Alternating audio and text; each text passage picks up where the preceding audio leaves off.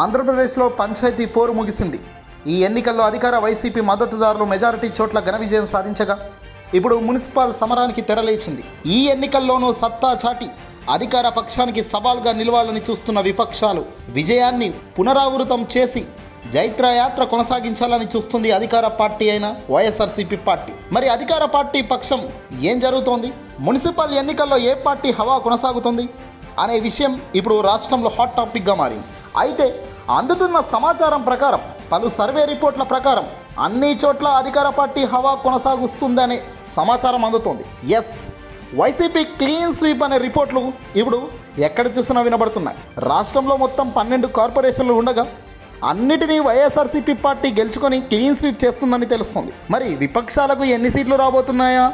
అనే కదా మీ ప్రశ్న. ప్రధాన ప్రతిపక్ష పరిస్థితి ఏంటి? చంద్రబాబు ఎగిరెగిరి పడుతున్నారు. బహుశా చంద్రబాబుకు ఒక్క సీట్ అయినా ఎక్కడైనా గెలుస్తారా లేదా? ఇదిగో ఇలాంటి ప్రశ్నలతో ఇప్పుడు ఏపీ రాజకీయం కలకలంలో ఉంది. మొత్తంగా చూస్తే ఈ ఫలితాలు ఎలా ఉండబోతున్నాయి అనేది ఇప్పుడు ఒక్కసారి లుక్కేద్దాం రండి. ముందుగా అనంతపురం జిల్లా. ఈ మున్సిపాలిటీ కార్పొరేషన్లో మొత్తం యాభై డివిజన్లు ఉన్నాయి. ప్రస్తుతం ఉన్న రాజకీయ పరిస్థితుల ప్రకారం అంతటా వైఎస్ఆర్సీపీ గాలి వీస్తుందనే ప్రచారం సాగుతోంది ఇక్కడ. దీంతో ఎన్నికల అధికార పార్టీ హవా ఎలా సాగుతుందనేది ఇలాగే తెలిసిపోతుంది. వైసీపీ నలభై డివిజన్లో జెండా ఎగిరేయబోతున్నట్టుగా తెలుస్తుంది. ప్రధాన ప్రతిపక్షం టీడీపీ కేవలం ఐదు చోట్ల మాత్రమే గెలుస్తుందట. రెండు చోట్ల మాత్రం ఇండిపెండెంట్లు ఘన విజయం సాధించే అవకాశాలున్నాయని లెక్కలు చెబుతున్నాయి. ఇకపోతే తిరుపతి జిల్లా. ఈ కార్పొరేషన్లో యాభై స్థానాలు ఉన్నాయి ఇందులో కూడా వైఎస్ఆర్సీపీ మెజారిటీ స్థానాలు దక్కించుకునే అవకాశాలు కనబడుతున్నాయి. వైసీపీ ముప్పై తొమ్మిది డివిజన్లకు గాను సొంతం చేసుకోబోతున్నట్టుగా తెలుస్తుంది. ఇక్కడ కూడా తెలుగుదేశం పార్టీ మళ్ళీ ఐదు స్థానాలకే పరిమితం కాబోతుంది. ఇక ఆరు చోట్ల మాత్రం నువ్వా నేనా అన్నట్టుగా ఉంటుందట. ఇకపోతే మూడవది చిత్తూరు జిల్లా. ఇక్కడ కూడా మొత్తం యాభై డివిజన్లు ఉన్నాయి ఈ కార్పొరేషన్లలో ఎలాగైనా సత్తా చాటాలని తెలుగుదేశం పార్టీ గట్టిగా ఫిక్స్ అయింది. కానీ ఆ పార్టీ ఆశలు మాత్రం నెరవేరేలా కనిపించట్లేదు. నలభై ఐదు డివిజన్లకు గాను వైసీపీ గెలుస్తుందని అంచనా వేగా టీడీపీ కేవలం రెండు స్థానాలతోనే సరిపెట్టుకోవాల్సిన పరిస్థితి ఉందట.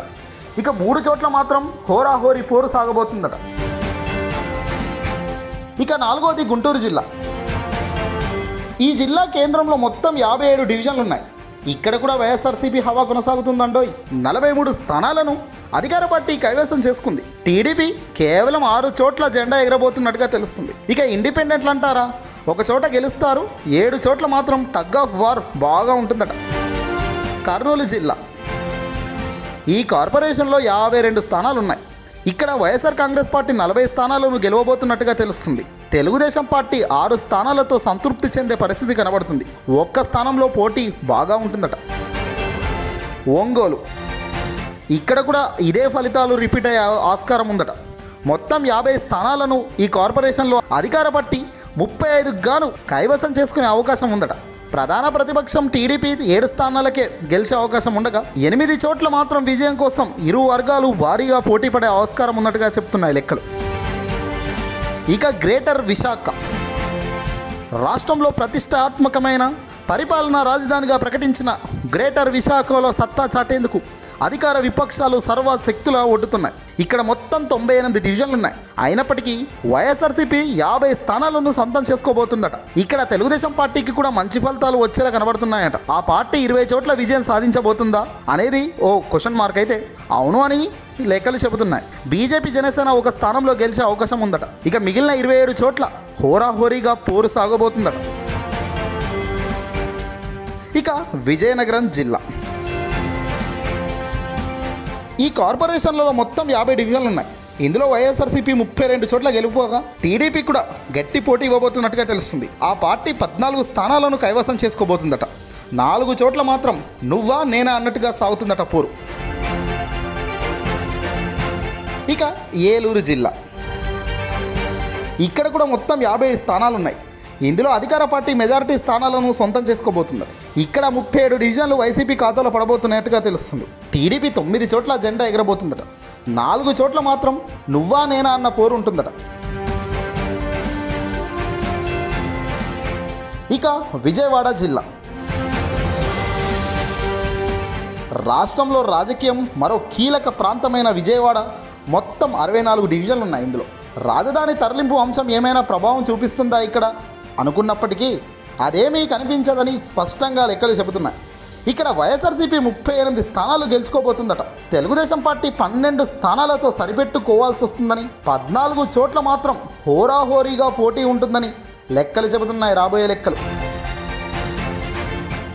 ఏదేమైనా ఇప్పుడు కడప జిల్లా చూద్దాం రండి. ఇక వైసీపీ అత్యంత ప్రతిష్టాత్మకమైన ఈ కార్పొరేషన్లో అధికార పార్టీ ఏకపక్షంగా విజయం సాధించబోతున్నట్టుగా తెలుస్తుంది. మొత్తం యాభై డివిజన్లకు గాను నలభై తొమ్మిది చోట్ల జగన్ జెండా రెపరెపలాడబోతుందట. మిగిలిన ఒక్క స్థానంలో టీడీపీ గట్టి పోటీ ఇస్తుందని తెలుస్తుంది.